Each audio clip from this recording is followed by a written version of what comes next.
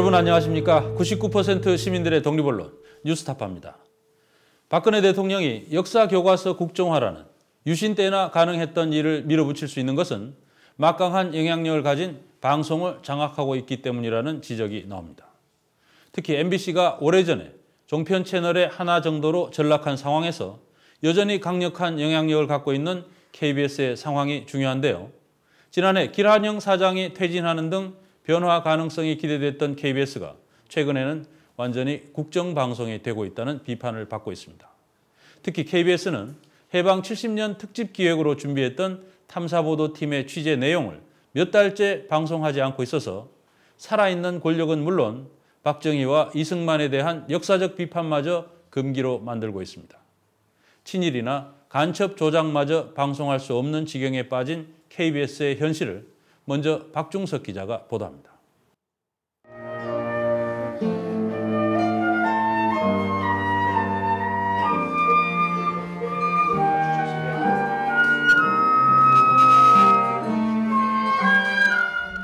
간첩 조작 사건의 피해자는 인터뷰를 거절했고 그럼 물어봤을 때 제가 안 한다고 그래요. 왜 안 하신다고 그러셨어요? 그게 그것이 바로 KBS가 제대로 현 박근혜 정권 하에서 제대로 보도가 안 되리라고 생각이 친일 문제 전문가는 방송이 나갈 수 있을지 걱정했습니다. 제도권 언론에서 이걸 정면으로 다룰 수 있을 것인가?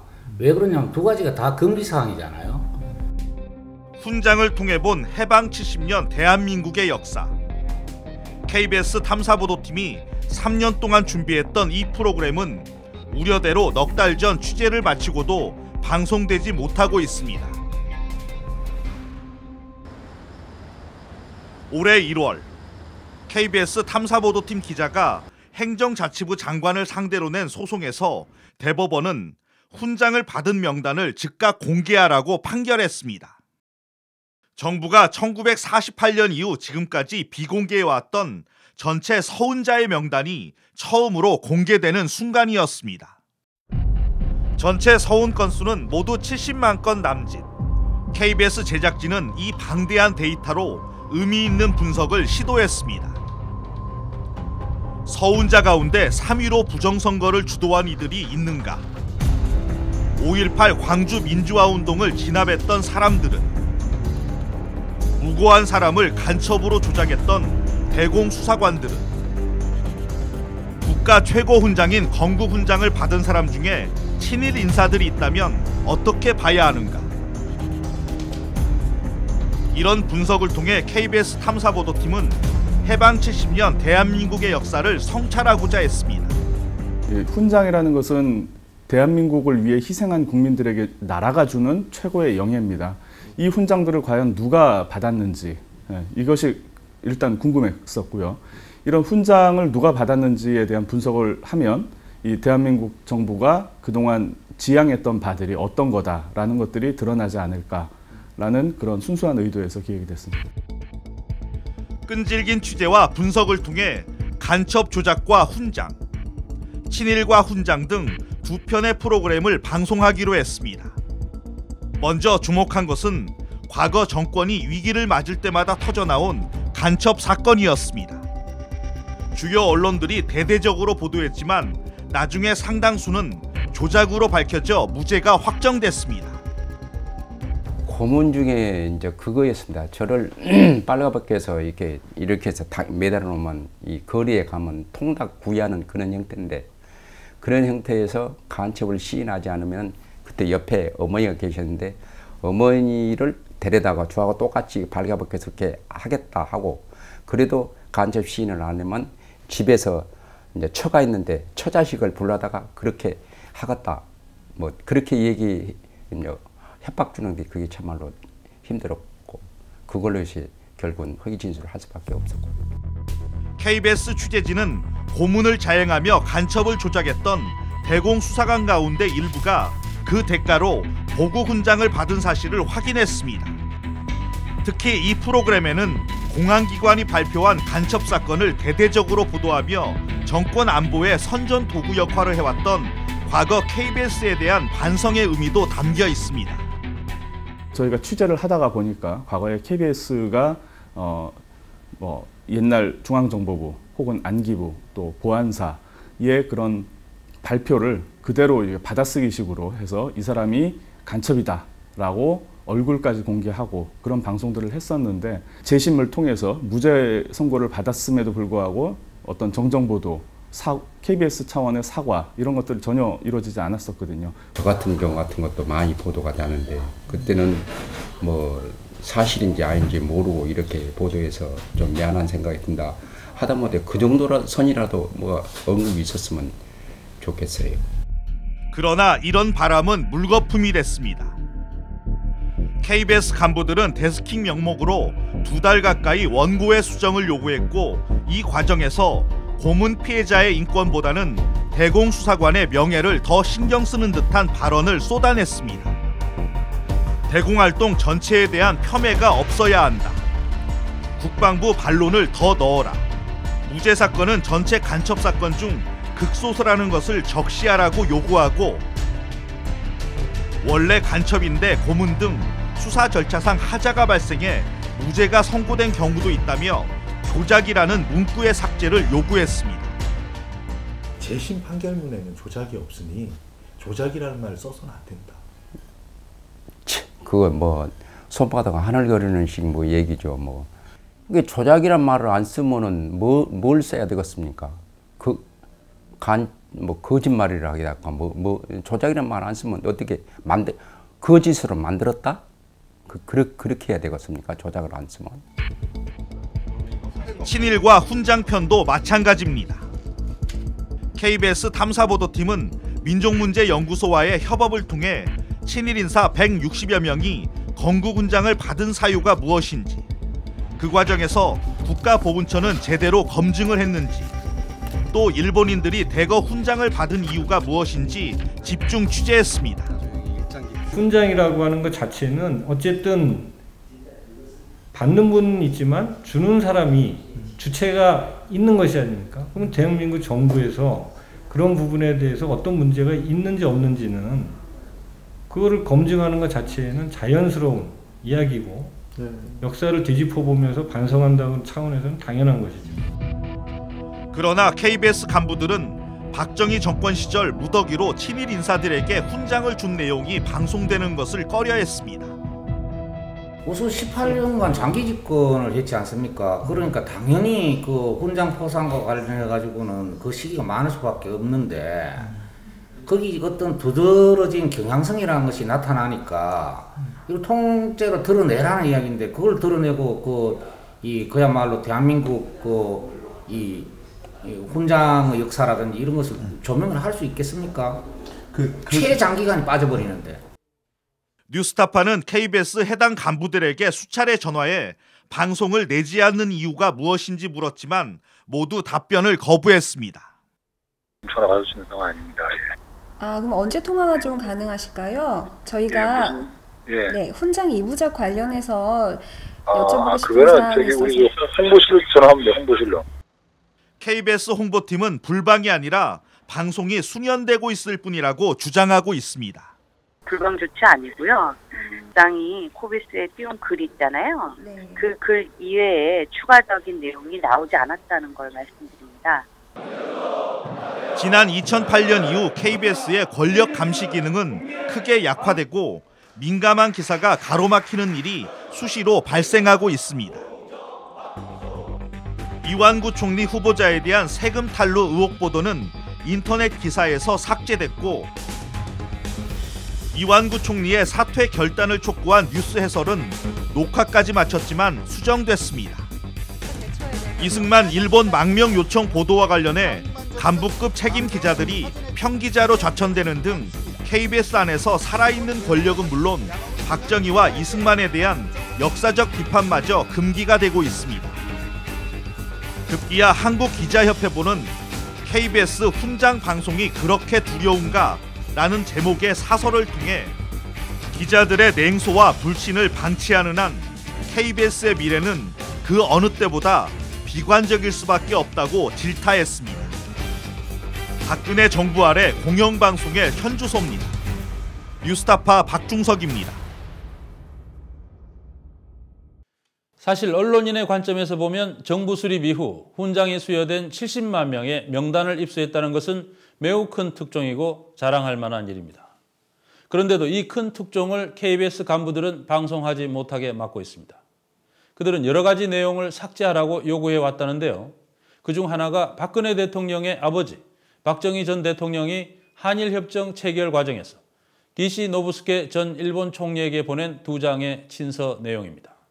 어떤 내용이길래 KBS 간부들은 자신들이 한 이 큰 특종의 방송을 막고 있는 것일까요? 김세범 PD가 취재했습니다. 박정희 전 대통령은 재임 기간 동안 일본인 70여 명에게 훈장을 줬습니다. 이 가운데 KBS 탐사보도팀 제작진이 특별히 주목한 사람은 기시노부스케입니다. 일본 총리를 지냈고 현 아베 총리의 외할아버지기도 한 기시 노부스케는 1970년 6월 18일 청와대에 와서 수교 훈장 광화장을 받습니다. 박 전 대통령이 그에게 훈장을 준 명목은 1965년 한일 수교 협정에 대한 공로였습니다. 기시 노부스케는 일본 정계의 마쿠 실력자로 한일 협정 체결을 물밑에서 주도했던 인물입니다. 그는 1936년 만주국의 산업 차관을 지내며 식민지 수탈을 주도했고 이후 태평양 전쟁 당시 일제의 상공부 대신을 맡아 군수물자 조달을 책임지는 등 수많은 조선인 청년을 강제 동원해 죽음으로 내몰았던 A급 전쟁 범죄자였습니다. 일본 아키타 현에서 조선인이 가장 많이 끌려온 곳이 하나오카 광산이었다.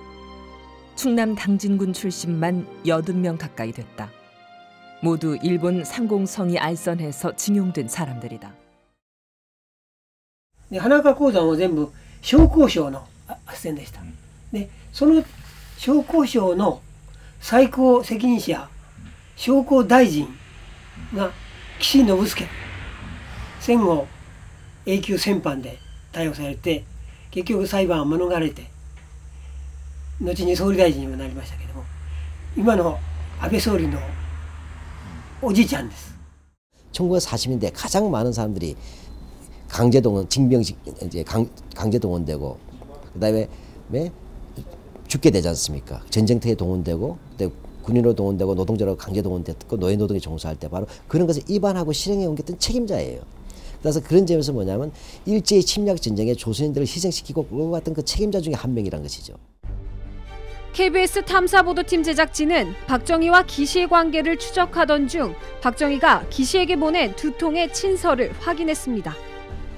편지의 원본은 일본 국회 도서관에 보관돼 있는데 국내엔 그 사본이 국사편찬위원회에 있습니다. 그 편지엔 어떤 내용이 담겨 있을까? 뉴스타파는 국사편찬위를 찾아가 확인해 봤습니다.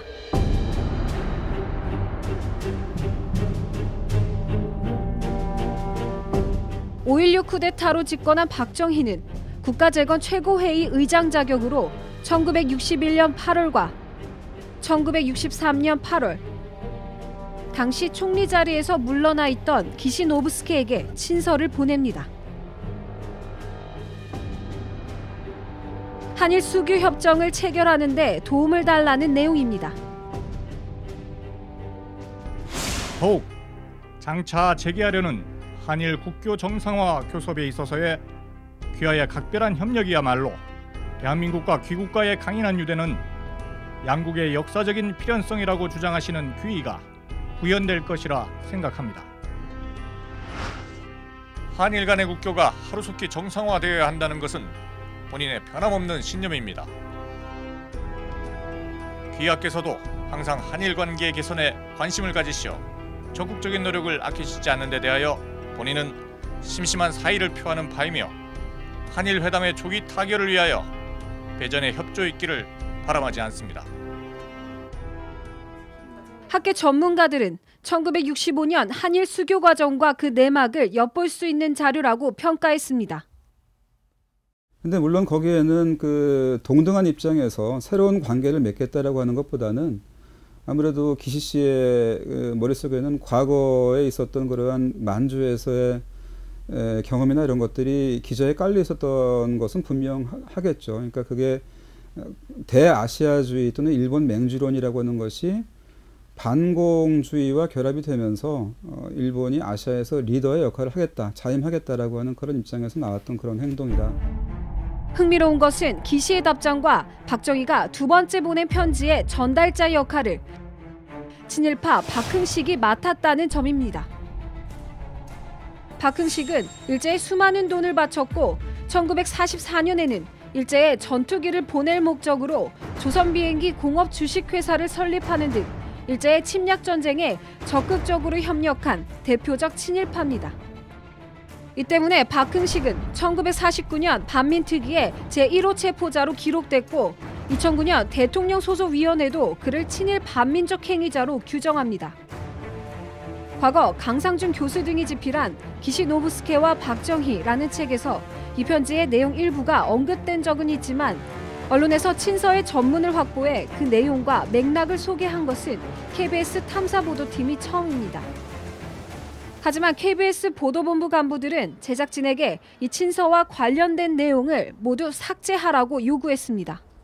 한쪽은 박정희 대통령의 에, 딸이고 또 한쪽은 그 기시 노부스케 총리의 그 외손자고 그런 관계가 지금 또 한일 관계를 또 이렇게 그 이끌어가는 그런 에, 리더들이 돼 있기 때문에 과거의 역사가 그 기시감으로 다가올 수밖에 없는 그런 부분이 있겠죠. 그러니까 과거 역사가 가지고 있는 아직도 풀리지 않은 한일 관계 숙제 같은 것들이 지금 양국을 누르고 있다고 이렇게 할 수 있겠고 그러한 것들이 현 정권에게 부담이 되는 것은 사실일 것 같습니다.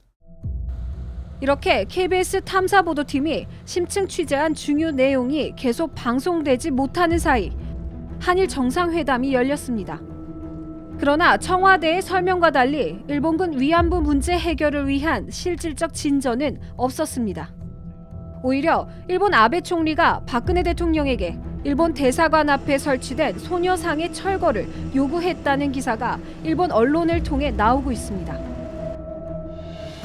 박정희 전 대통령이 전범 기시에게 보낸 편지와 일본인에게 준 훈장의 내역을 통해 현재 한일 간 과거사 문제의 뿌리를 들춰내려던 KBS 탐사보도팀의 취재 노력은 KBS 간부들의 통제에 막혀 물거품이 되고 말았습니다. 뉴스타파 김세범입니다. 이렇게 KBS는 이승만이나 박정희 전 대통령에게 불리한 사실은 감히 방송에 낼 수 없는 딱한 처지가 됐습니다. 그런데 앞으로는 상황이 더 악화될 전망입니다. 고대영 씨가 차기 사장 후보자로 선출됐기 때문입니다. 고대영 후보는 KBS 뉴스 책임자 시절 천성관 검찰총장 후보의 비위에 대한 특종을 불방시킨 적이 있고 야당의 내부 회의를 도청해 여당에 제공한 이른바 도청 스캔들에서도 자유롭지 못한 인물입니다. 국정방송 KBS를 위한 맞춤형 사장이라는 의혹까지 받고 있는 고대영 후보자에 대해 김경래 기자가 보도합니다. 이명박 대통령이 오늘 KBS 정현주 사장을 해임했습니다. KBS 후임 사장은 공영방송의 정상화를 바라는 각계의 의견을 수렴해서 이명박 대통령 후보 시절 언론 특보 출신이라며 가로막았습니다. 청와대 보도 개입 논란에 휩싸인 KBS에서 김환영 사장에 대한 사퇴 압박 수위가 높아지고 있습니다. 보도본부의 독립성을 침해해온 김환영 사장은 즉각 자진 사퇴해야 합니다. 고대영 KBS 비즈니스 사장이 KBS 사장 후보로 선정됐습니다. 역사는 반복된다는 말이 있습니다. 이명박 정부가 들어선 지난 2008년 이후 이곳 공영방송 KBS에서는 사장이 선임될 때마다 비슷비슷한 일들이 반복되고 있습니다. 사장 후보를 결정하는 KBS 이사회는 사장을 뽑을 때마다 무엇인가 쫓기는 것처럼 속전속결로 선임 절차를 진행합니다. 그리고 이 과정에서 언제나 노골적인 혹은 은밀한 청와대 낙점설이 제기됩니다. 그리고 이렇게 선임된 KBS 사장은 권력의 비판적인 뉴스와 프로그램을 방해하고 축소하고 틀어막는 역할을 충실하게 수행하게 됩니다. 이번에 고대영 씨가 사장 후보로 선출될 때도 이사회는 똑같은 행태를 보였습니다. 아, 이번에 한 가지 특이한 점은 여권과 가까운 뉴라이트 성향 후보가 오히려 청와대 낙점서를 제기하고 나섰다는 점입니다. 지금 절차상으로는 이사회 거쳐서 뭐 청문회 거쳐서 그 다음에 대통령이 사인하게 돼 있지만은 이거는 형식 노지고 어? 맨 마지막에 단계에서는 일곱 표를 몰아주는 사람은 VIP가 대통령이 어, 이렇게 자기들끼리 주장을 이렇게 공개리에 논의를 해서 결정한 다음에 그 다음에 너는 누구 찍어 누구 찍어 이렇게 하는 거야. 공개. 근데 이건 뭐 요번만 그랬냐? 과거에도 그랬고. 어느 분이 적절한 건지 이런 토론을 당연히 할 수 있고 해야 되는 거 아닌가? 예, 그럼요. 그건 당연하죠. 예. 그런데 그냥 그 이상은 없습니다. 가서 조대현 씨한테 내표 찍은 야당 후보는 야당 인사이나 한번 취재해 보시죠. 그러니까 추석 연휴 때 김 전화 걸고 고대영이가 내려가는 경우를 검토해 달라고 이인호 이사장이 전화를 받았다는 거를 누구한테 얘기를 했어. 나는 얘기를 별로 하고 싶지 않아요. 뭐 이것저것 소문들 가지고 이것저것 묻고 하는데 지금 예. 내가 뭘 마- 말을 하는 게 적절치 않으니까 심지어 강동순 씨는 자기 자신도 여권의 중진 정치인에게 사장 선임과 관련해 도움을 요청했다고 스스로 밝혔습니다. 지금 삼선 의원인데 경북 영주 사람. 아, 영주예요? 장윤석 의원한테 도움을 청했어. 도와달라. 고대영이를 미는 것 같은데. 고대영 씨는 지난 2008년 정현주 사장이 불법적으로 해임된 뒤 대선 특보 출신 김인규 사장으로부터 KBS 보도 총괄팀장으로 전격 발탁됐습니다. 그리고 2012년 퇴임할 때까지 KBS 보도본부의 최고 책임자로 승승장구했습니다. 고대영 씨는 그 사이 권력 비판 보도를 수차례 누락시켰고 야당 도청과 같이 반드시 진실 규명이 필요한 KBS 관련 스캔들을 유야무야 무마시킨 당사자로 지목받고 있습니다. 국회 민주당 비공개 당대표회의 도청 의혹 사건과 관련해 KBS 장모 기자가 어젯밤 경찰에 출석해 조사를 받았습니다. 2011년 7월 야당의 비공개 회의 녹취록이 여당에게 통째로 유출되는 희대의 도청 스캔들이 터졌습니다. 도청의 당사자로 KBS 기자 A씨가 지목됐습니다. 경찰은 A 기자가 휴대전화로 야당 회의를 몰래 녹음했다고 보고 압수수색 영장을 발부받았습니다. 하지만 A 기자는 경찰이 수사에 착수한 다음 날 술을 마시고 휴대전화를 분실했다고 주장했습니다. 네, 나중에 말은 바꾸잖아요. 택시 데리러 온게 아니라 그알 수가 없다. 마취 때문에. 어디 데리러 했는지 모른다라는 게 진실이에요. 보도본부장이었던 고대영 씨는 휴대전화를 분실했다는 A 기자를 임원실에 직접 불러 새 휴대전화를 선물합니다. 본부장이 입사한 지 얼마 안 된 기자의 사소한 비품 분실을 챙긴 것은 매우 이례적입니다. 당시 고대영 보도본부장은 KBS를 위기에 몰아넣었던 도청과 관련해 아무런 진상 조사나 조치를 취하지 않았습니다.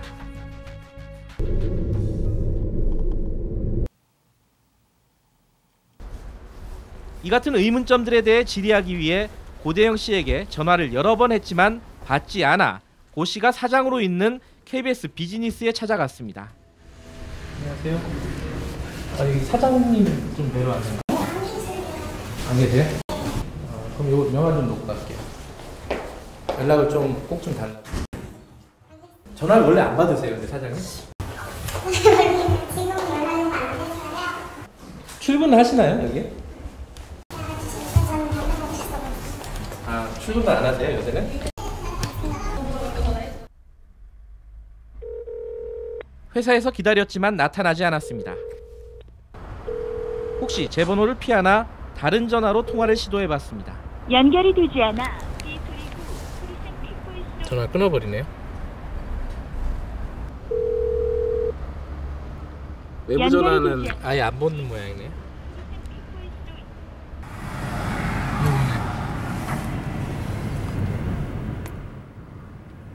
고 씨가 언론의 검증 취재를 피하는 것으로 보여 자택 근처에서 기다렸지만 역시 나타나지 않았습니다. 지금 시간이 자정이 넘었습니다. 그 고대영 KBS 사장 후보자를 어, 기다린 지 10시간이 넘었습니다. 어, 인터뷰 한 번을 하기 위해서 기다리고 있는데 아직 기약이 없습니다. 고대영 씨는 끝내 인사청문회가 끝나고 연락하자는 문자 메시지만 전해왔습니다. 고대영 씨가 KBS 보도국장으로 있던 2009년 검찰총장으로 내정된 천성관 씨가 스폰서와 해외여행을 다녀왔다는 의혹이 제기됩니다. 천성관 후보자는 국회에서 의혹을 전면 부인합니다. 박정재 씨와 후보자 부인과 2008년 2월 7일부터 2월 10일까지 설 연휴에 일본 여행을 합니다. 기억 안 나십니까? 그것도 같이 간 기억 없어요. 예. 하지만 KBS 취재진은 천 후보자가 스폰서의 비행기 표를 자신의 신용카드로 결제했다는 핵심적인 증언을 확보합니다. 추가 확인 취재도 마쳤습니다. 검찰총장 후보자의 위증을 입증한 겁니다. 하지만 당시 고대영 보도국장은 증거를 가져오라며 방송을 막았습니다. 이 내용은 복수의 취재원으로부터 cross check를 해서 확인된 사실이었어요. 근데 이에 대해서 당시 고대영 보도국장은 그 그냥 취재원으로부터 들은 것밖에 아니지 않느냐. 증거를 가져라 이렇게 얘기를 했다고 그래요. 근데 증거란 게 뭐냐면은 신용카드 전표를 가져오라는 거거든요. 우리 기존의 취재 관행과도 맞지 않을 뿐더러 매우 부적절한 발언이었던 거죠. 기사는 결국 누락됐습니다. 천성관 검찰총장 후보자가 오늘 저녁 다음 날 KBS 취재 정보를 입수한 천성관 검찰총장 후보자는 전격 사퇴했습니다. 그러고 나서야 고대영 국장은 왜 그만뒀나라는 어정쩡한 제목으로 뒷북 뉴스를 내보냅니다. 스스로 물러난 천성관 후보자, 이 스폰서 논란이 일고 있는 사업가와 일본에 간 기억이 없다고 밝혔습니다만 이 부부 동반으로 이 같은 비행기를 탄 사실이 KBS 취재로 드러났습니다. 언론노조 KBS 본부는 고대영 후보자가 KBS 뉴스 책임자로 재임할 당시 저지른 12건의 대표적인 불공정 보도 사례를 발표했습니다. 용산 참사 축소 편파 보도, 사대강과 권력층 비판 보도 축소, 윤도현 씨 내레이터 배제 파문 등이 포함되어 있습니다. 재벌에게 골프 접대를 받고 선후배 동료들을 폭행한 사실 등 도덕성 문제도 3건이 발표됐습니다. 고대영 사장이 과연 KBS 사장으로서 어떤 역할을 할 수 있을 것인가? 뭐 아시겠지만 바로 내년에는 총선 그리고 내후년에는 대선이라는 굉장히 중요한 어, 국가 행사가 있는데 이것들을 뭐 임명권자 입장에서 본다면 가장 그 유리하게 청와대에 유리하게 어, KBS 보도를 끌고 갈 수 있는 사람이라고 판단하지 않았나 저희들은 그렇게 보고 있고요.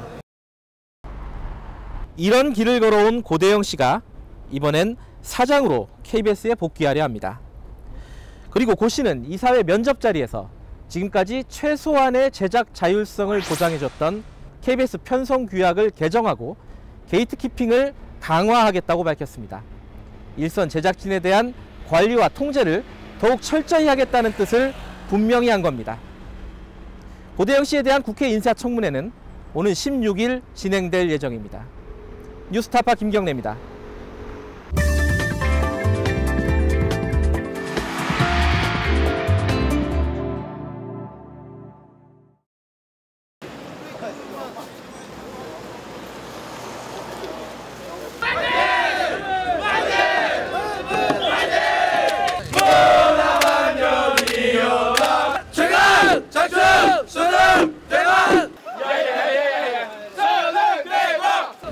떨지 말고 네, 잘 봐. 알았지?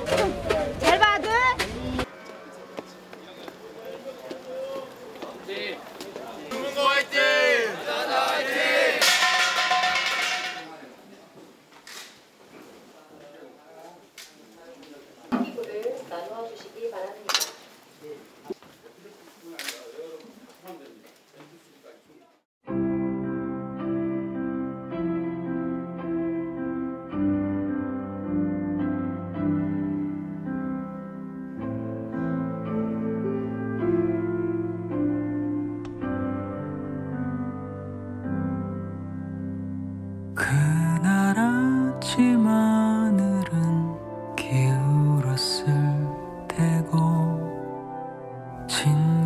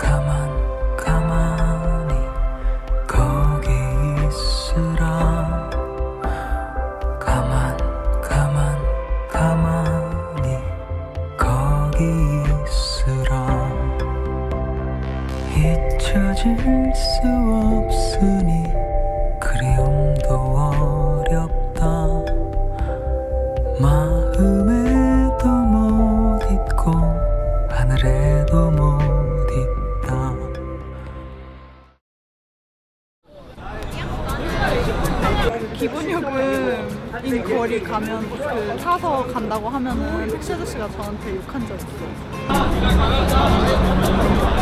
힘들었죠. 정말 힘들었어요. 서주지도 않고.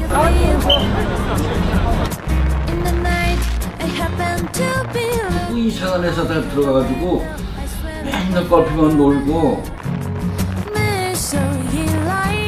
일단 본인들이 다 사장이라는 그런 느낌이 있기 때문에 돈 없는 사람에서 좀 벗어난 느낌이에요.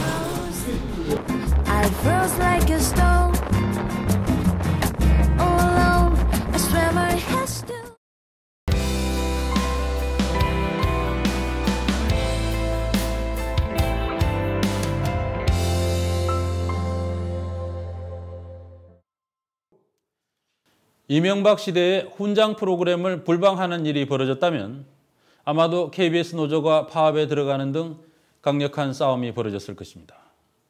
그러나 지금은 KBS나 MBC에서 눈뜨고 볼 수 없는 일이 벌어지는데도 폭넓은 대중적인 저항은 일어나지 않습니다. 그저 노조 집행부 중심의 찻잔 속 움직임만 있을 뿐입니다. 물론 박근혜 대통령의 방송 장악은 언젠가 역사적 심판을 받을 것이고 KBS, MBC의 하수인들도 대가를 치르도록 해야 합니다. 그러나 방송이라는 공기를 운영하는 책무를 지닌 모든 구성원들 역시 그때 뭐 했느냐는 질문을 받을 수밖에 없습니다. 이대로 가면 방송은 곧 민주화 이전의 상태가 될 것입니다. 어렵지만 힘을 모아 마지막 저지선을 구축해야 할 때입니다. 오늘 뉴스타파 여기서 마치겠습니다. 감사합니다.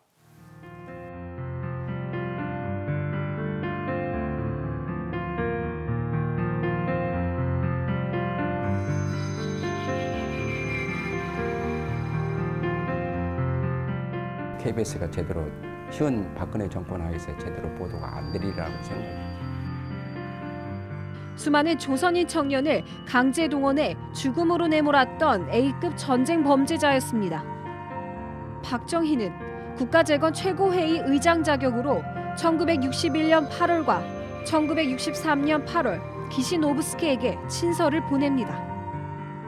고대영 KBS 비즈니스 사장이 KBS 사장 후보로 선정됐습니다. 전화 걸고 고대영이가 내려가는 경우를 검토해달라고. 당시 고대영 보도본부장은 KBS를 위기에 몰아넣었던 도청과 관련해 아무런 진상 조사나 조치를 취하지 않았습니다.